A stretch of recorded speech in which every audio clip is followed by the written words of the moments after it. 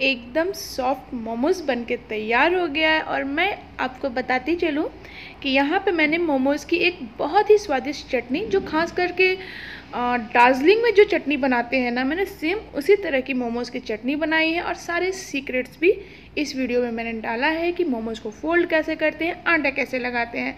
तो फटाफट रेसिपी बताना मैं शुरू करती हूँ। यहाँ मैंने ले लिया है दो कप मैदा और उसमें मैंने डाल दिया है नमक। आपको क्या करना है? थोड़ा थोड़ा पानी इस्तेमाल करके एक सॉफ्ट डो तैयार करना है आटे की। आपको ध्यान रखना चाहिए कि ना डो ज़्यादा हार्ड हो और ना ज़्यादा सॉफ्ट बिल्कुल एक एक तरह का डो होना चाहिए मतलब मीडियम सॉफ्ट और मीडियम हार्ड इस तरह से बिल्कुल लचीला। और इसे ढक कर, डो लगाने के बाद आप ढक कर रेस्ट करने के लिए छोड़ दीजिए पंद्रह मिनट के लिए। तब तक हम चटनी का काम कर लेते हैं। यहाँ मैंने एक कढ़ाई में पानी उबाल लिया है और उबले हुए पानी में मैंने इस तरह से टमाटर को काट के डाल दिया है, साथ में लाल मिर्च भी डाल दिया है। जब आपको लगने लगे कि टमाटर सॉफ्ट होने लगे या फिर उनके स्किन ना बाहर आने लगे मतलब मैं आपको दिखाती हूँ कि कैसा होना चाहिए। ये देखिए, ये टमाटर ना बिल्कुल सॉफ्ट हो चुका है और जब मैं इसके स्किन हटाऊँगी ना तो बहुत इजीली हट जाएगा। तो हमें बस इतना ही इसे उबालना है कि टमाटर का जो स्किन है, वो हट जाए। उसके बाद इसकी स्किन को हटाकर एक मिक्सर, ग्राइंडर ले लेंगे और इन सारे चीज़ों का ना हम एक अच्छा सा प्योरे बनाएँगे। तो जब आप टमाटर को गर्म करोगे, अच्छे से सॉफ्ट कर लोगे ना तो इसकी स्किन बहुत ईजिली बहुत ही आराम से हट जाती है। पर ध्यान रहे कि आपकी, आपके हाथ ना जले, आप ध्यान से करिएगा और इसका प्योरे बना लेना है। तो अब मैं, मेरे पास तो तीन सब्ज़ियाँ हैं, जैसे कि प्याज, गाजर और बंद गोभी या पत्ता गोभी। अक्सर वेज मोमोज में ना, बंद गोभी, गाजर और प्याज का ही यूज़ होता है और आप चाहें तो अलग से पनीर भी डाल सकते तो इन सारे सब्जियों को मैं, मुझे बहुत बारीक ग्रेड करना है तो मैंने यहाँ पे एक चॉपर का यूज़ किया है। चॉपर का यूज़ करने से क्या है ना, सब्ज़ियाँ फटाफट चॉप्ड हो जाती हैं। तो अगर आपको भी बहुत बारीक मतलब मोमोज़ के लिए तो बारीक सब्ज़ियाँ ही लगती हैं तो इसी तरह से चॉपर का यूज़ कर लीजिएगा। और यहाँ मैं थोड़ा सा लहसुन भी ले रही हूँ। इसी मोमोज़ की फिलिंग्स का स्टफिंग के लिए मैं ये लहसुन यूज़ करी। तो मैंने कढ़ाई को गर्म कर लिया, उसमें लिया है दो चम्मच तेल, कटी हुई लहसुन डाल दिया और ये सब्जियों को डाल दिया। सब्जियों को हमें तेज़ आँच पे भूनना है ताकि सब्ज़ियाँ पानी ना छोड़े। और यहाँ मैं थोड़ा सा पनीर भी ऐड कर रही हूँ। मोमोज़, वेज मोमोज़ में पनीर बहुत अच्छा लगता है। तो अगर आपके पास पनीर है तो आप ऐड कर लीजिए अदरवाइज़ इतना तक भी काफ़ी है। और आप काला काली मिर्च डालना बिल्कुल मत भूलिएगा। मोमोज की स्टफिंग में काली मिर्च बहुत अच्छा लगता है। नमक आपको अभी नहीं डालना है, नहीं तो पानी छोड़ देगा स्टफिंग तो हो चुका है ये और मैं करती हूँ गैस को बंद। और यहाँ चलते हैं अपनी एकदम टेस्टी डार्जिलिंग वाली चटनी बनाने की ओर। तो यहाँ मैंने बारीक चॉप कर लिया है अदरक और लहसुन, मिर्च डालने की ज़रूरत नहीं, क्योंकि हमने पहले ही लाल मिर्च को अच्छे से बनाकर पकाकर प्योरे बना लिया है। तो ये जो प्योरे है ना, टमाटर और मिर्च का, वो इसमें मैंने डाल दिया।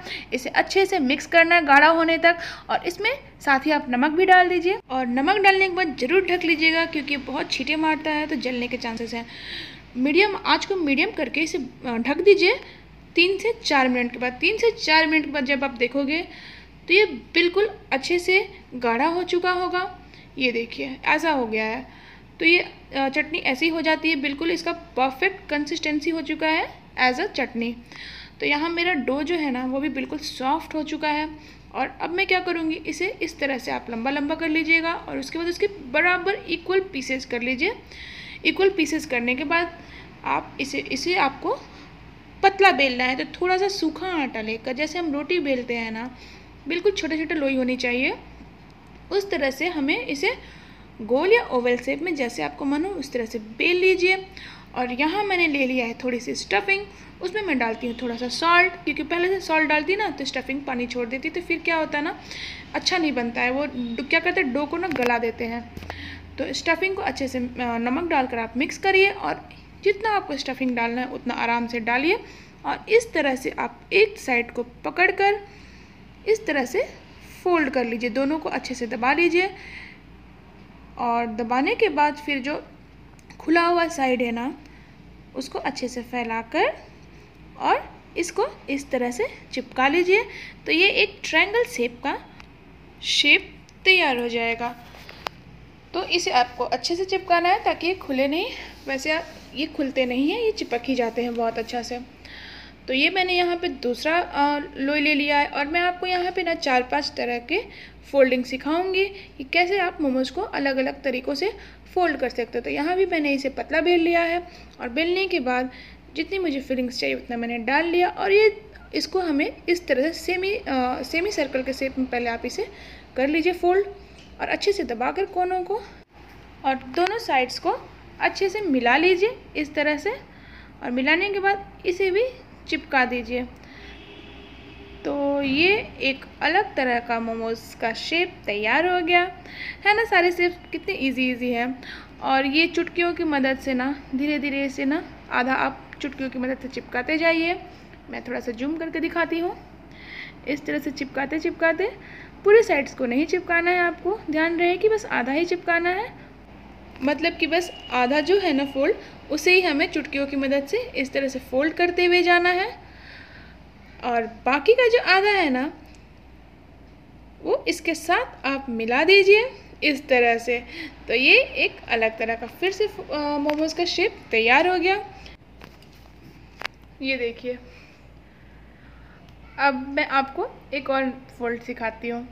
तो यहाँ उसी तरह से सेम हमें चुटकियों की मदद से फोल्ड करते जाना है और इस बार ना सबको हमें मतलब जितना भी फोल्ड है, जितना फोल्ड हो सके उतना फोल्ड आप करते जाइए और करके लास्ट में इन सारे मुँहों को एक साथ पकड़ के, चिपका के उसके मुँह को एज ए पोटली ये पोटली वाला मोमोज हो गया। एज अ पोटली हमें बनाकर तैयार कर लेना है। अब एक और नया शेप इसे भी उसी तरह से सेमी सर्कल से फोल्ड कर लीजिए और इसे ना मैं गुजिया वाला शेप दूँगी।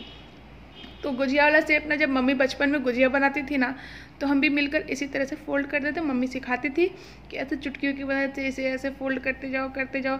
बिल्कुल थोड़ा थोड़ा थोड़ा थोड़ा पे।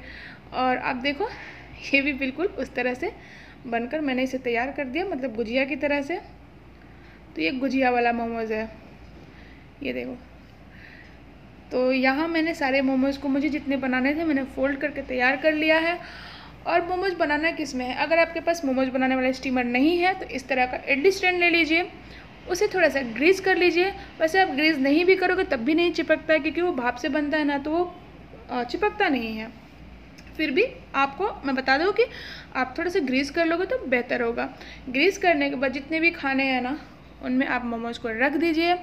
और मोमोज़ का जो बर्तन है मतलब जो सांचा है, उसमें आपको डालना है एक ग्लास पानी। और एक ग्लास पानी डालने के बाद ही आप इसको डालिएगा इस प्लेट को उसके अंदर, क्योंकि ये मोमोज़ भाप से बनते हैं तो पानी का होना बहुत ज़रूरी है। पानी डालने के बाद मुश्किल से 12 मिनट के बाद आप देखोगे ना तो ये मोमोज बिल्कुल बन के सॉफ्ट तैयार हो जाते हैं। और मोमोज रेडी हैं सर्व करने के लिए। मैं आपको बताते चलूँ कि मोमोज गर्मा गर्म ही अच्छे लगते हैं। तो जब आपको खाना हो, उस समय आप फोल्डिंग करके मोमोज को डीप फ्रीजर में रख दिया करिए। और जब खाना हो ना, तब उसे स्टीम करके तब खाया करिए, तब ज़्यादा मज़ा आता है। तो वीडियो कैसा लगा, मुझे ज़रूर बताइएगा। लाइक ज़रूर कर दीजिएगा और चैनल पर नए हैं तो चैनल को सब्सक्राइब ज़रूर कर लीजिएगा। Thank you